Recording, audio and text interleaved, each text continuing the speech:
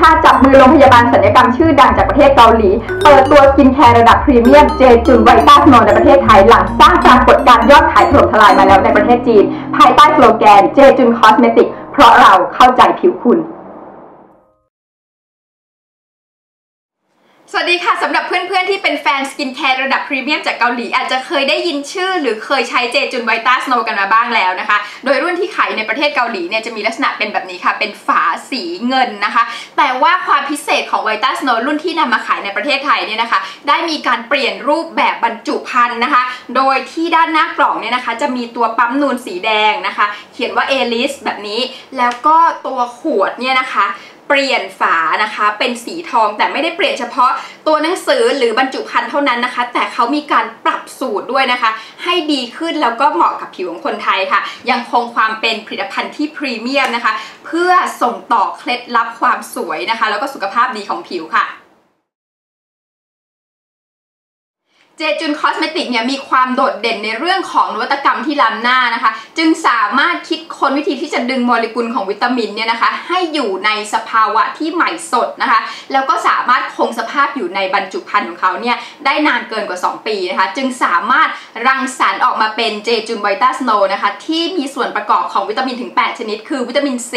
B1 B2 B3 B5 B6 B9 และวิตามิน E ค่ะนวัตกรรมใหม่นี้นะคะ เริ่มต้นมาจากคุณสมบัติของสารสกัดจากถั่วเหลืองที่มีหน้าที่ทำให้วิตามินทั้ง 8 ชนิดเนี่ยนะคะ จับตัวรวมอยู่ในที่เดียวกัน แล้วใช้โมเลกุลของน้ำเนี่ยนะคะทำหน้าที่เป็นเหมือนผนังที่มีคุณสมบัติในการป้องกันไม่ให้วิตามินเนี่ยนะคะ สลายตัวจากปัจจัยภายนอก เช่นแสงแดดแล้วก็ลมนะคะ จึงตกผลึกออกมาเป็น nano crystal soluble water ซึ่งมีขนาดเล็กระดับนาโนนะคะ จึงสามารถนำพาวิตามินเข้าสู่ผิวได้อย่างล้ำลึกนะคะ แล้วก็สามารถให้วิตามินกับผิวได้โดยตรงค่ะ เรียกกันว่า VitaSnow powder หรือที่เรียกว่า crystal nano นั่นเองค่ะสำหรับส่วนผสมพิเศษเฉพาะตัวของ Jayjun VitaSnow คือวิตามินซีเข้มข้นนะคะ ที่สกัดมาจากส้ม Jeju citrus ที่สามารถปลูกและเติบโตได้เฉพาะในประเทศเกาหลี และเก็บเกี่ยวผลผลิตที่ดีที่สุดได้เพียงครั้งเดียวเฉพาะในหน้าหนาวเท่านั้นค่ะ สำหรับ Jayjun VitaSnow 1กล่องเนี่ยนะคะ ประกอบไปด้วย essence 1ขวดนะคะ ขนาด 30 ml ตัว VitaSnow powder 4ขวดนะคะ ขวดละ 5 ml รวมปริมาณสุทธินะคะ 50 ml 1 กล่องมีราคาขายอยู่ที่ 4,200 บาทนะคะ โดยที่คุณสามารถติดตามข่าวสารเพิ่มเติมแล้วก็โปรโมชั่นได้ที่ www.jayjuncosmetic.com นะคะ หรือจะดูที่ Facebook กับ Instagram ของเขานะคะ ที่ Jayjun Cosmetic เช่นกัน หรือสามารถติดต่อกับทางแบรนด์นะคะ ได้ทาง Line Jayjun Cosmetic ค่ะ หลังจากตรงนี้เดี๋ยวเราไปดูวิธีการใช้ Jayjun VitaSnow ตัวนี้นะคะ รวมไปถึงเนื้อสัมผัสนะคะ แล้วก็ finishing ที่ได้นะคะ ว่าหลังจากที่ใช้แล้วรู้สึกเป็นอย่างไรบ้างค่ะ ถึงเวลาที่เราจะลองใช้ Jayjun VitaSnow กันแล้วนะคะ อย่างที่พิมพ์เกริ่นไว้ตอนแรกคือเขาจะมีด้วยกันทั้งหมด 2 ขั้นตอนนะคะ โดยที่ขั้นตอนแรกเนี่ยจะเป็นการใช้ตัว essence นะคะที่มีลักษณะเป็นของเหลวมาในขวดแก้ว แล้วก็เป็นฝา dropper แบบนี้นะคะ เปิดให้คุณดูเนื้อนะคะ จะเป็นลักษณะนี้ค่ะ จะเป็นแบบเหมือนน้ำใสๆเลยนะคะ ไม่หนึบไม่หนืดทั้งสิ้นนะคะ คือเรียกว่าตัวนี้เนี่ยหลังจากที่ลงไปบนผิวเราเนี่ยนะคะ จะช่วยเพิ่มความชุ่มชื้นนะคะ แล้วก็ความยืดหยุ่นให้กับผิวของเรา เดี๋ยวพิมจะลองลงที่หลังมือนะคะ สักหนึ่งหยดนะคะ เพราะปกติใช้ทั้งใบหน้าเนี่ยใช้เพียง2หยดเท่านั้นนะคะ นี่หนึ่งหยด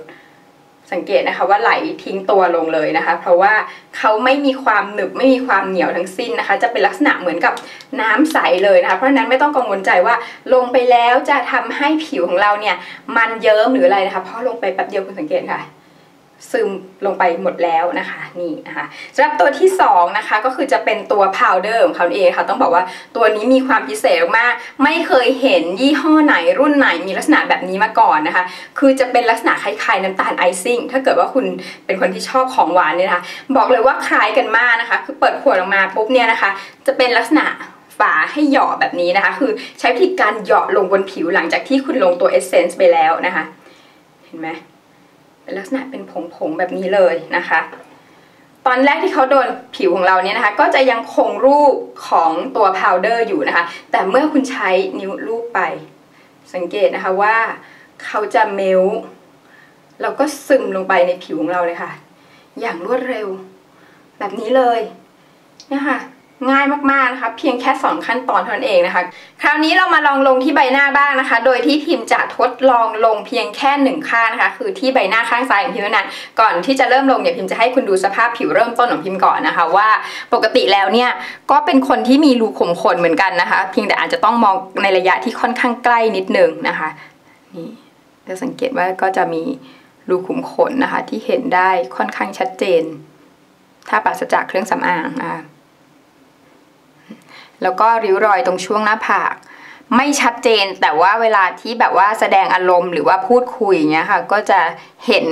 ลึกกว่าปกตินะคะ เพราะนั้นเดี๋ยวเรามาลองลงดูกันนะคะว่า หลังจากที่ลงแล้วเป็นอย่างไรบ้างค่ะ ขั้นตอนแรกเลยนะคะ พิมจะใช้ตัว Essence ก่อนนะคะ เพราะว่า 1 ใบหน้าเนี่ยเขาให้ใช้เพียงแค่ 2 หยดนะคะ เพราะฉะนั้นตรงนี้เนี่ยพิมใช้หยดเดียวเท่านั้นนะคะ หยดเดียว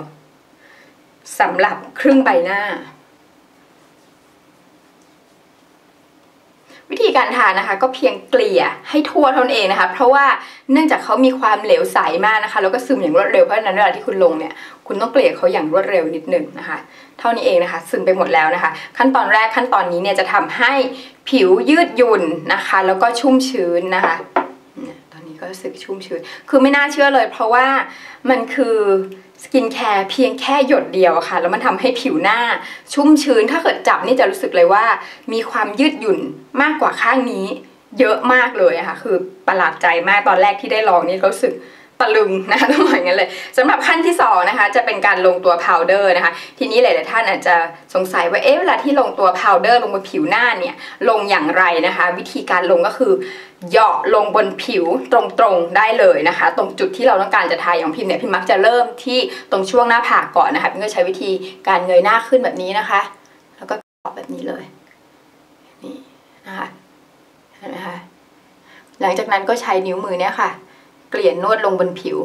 ซึ่งเขาจะละลายไปกับผิวของเรานะคะ อย่างรวดเร็วจากที่เป็นรูปของพาวเดอร์เป็นผงเนี่ยนะคะ จะกลายเป็นน้ำเย็นๆ แล้วก็ซึมปุ๊บเข้าผิวของเราไปเลยนะคะ อยากจะให้ดูตรงนี้เพื่อเป็นการเปรียบเทียบอย่างเร็วๆก่อนนิดนึงนะคะว่า หลังจากที่ทาแล้วเนี่ยนะคะ ข้างเนี้ยผิวมันจะดูนุ่มนวลมากกว่า เวลาที่แบบเนี่ยค่ะเห็นไหม เวลาทำให้เกิดแบบเส้นที่เกิดมาจากอารมณ์ของเราในแต่ละวันเนี่ยนะมันก็จะดูแบบซอฟต์มากยิ่งขึ้นนะคะสำหรับตรงช่วงนี้นะคะก็ใช้วิธีเอียงใบหน้า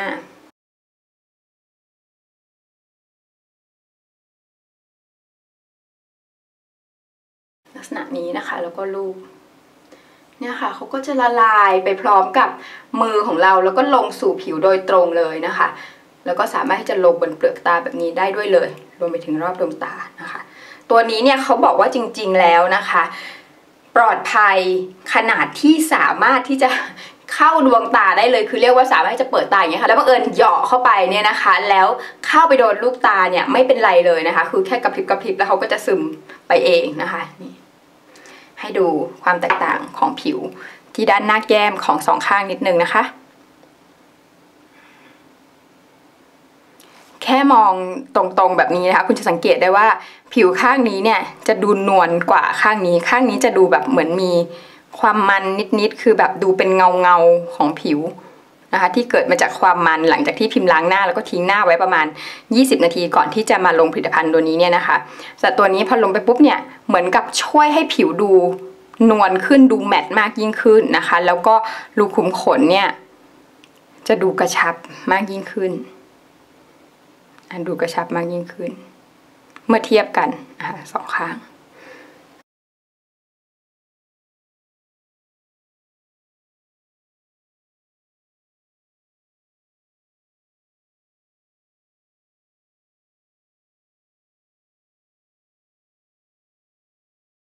เมื่อสัก พิมพ์ลง Essence และ Powder ที่ใบหน้าข้างขวาแล้วนะคะ เรามาดูกันนะคะว่าเงาเงาบนผิวที่เกิดจากความมันเล็กน้อยนะคะ กับรูขุมขนทั้งสองข้างเป็นอย่างไรบ้างแล้วนะคะ ตอนนี้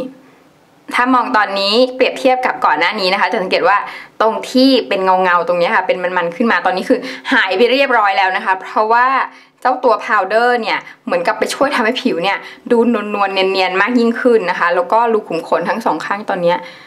ดูกระชับนะคะ ดูกระชับมากขึ้นทำให้ผิวหน้ามันดูเนียนนะคะ หลังจากนี้เนี่ยก็ไม่ได้ต้องลงสกินแคร์ตัวอื่นแล้วเลยนะคะ เพียงแค่ใช้ตัวนี้ขั้นตอนเดียว จากนั้นก็สามารถลงกันแดดได้ แล้วก็แต่งหน้าตามปกติได้เลยค่ะ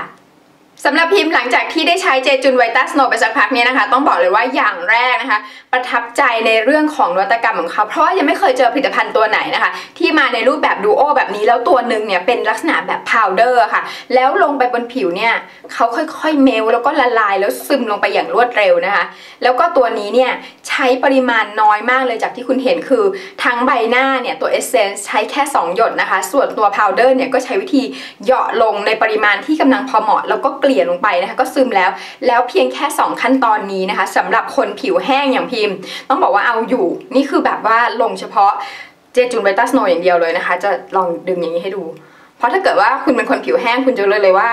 ถ้าลงสกินแคร์ไม่เยอะจริง ไม่แน่นจริง ไม่ชุ่มฉ่ำจริง ๆนะคะ จะไม่สามารถดึงอย่างนี้ได้ เพราะผิวทั้งหมดตรงนี้มันจะตึงไปหมดเลยนะคะ สุดยอดจริง แต่จากที่คุณได้เห็น finishing ถ้าเกิดว่าคุณเป็นคนผิวมัน คุณก็จะสังเกตเห็นแล้วว่า เมื่อสักครู่นี้เนี่ยพิมพ์ได้มีการปล่อยให้ผิวหน้าเนี่ยนะคะ มีน้ำมันมีเหงื่ออะไรเงี้ยขึ้นมาลอยอยู่บนผิวบ้าง แต่เมื่อลง Jayjun VitaSnow ลงไปแล้วเนี่ยปรากฏว่านะคะ finishing ที่คุณเห็นตอนนี้เป็นยังไง ผิวมันดูนวลนวลๆนะคะ ไม่มีความมันแบบเยิ้มลอยขึ้นมาเลยนะคะเพราะนั้นเรียกว่าผิวแห้งใช้ได้ชุ่มฉ่ำเพียงพอ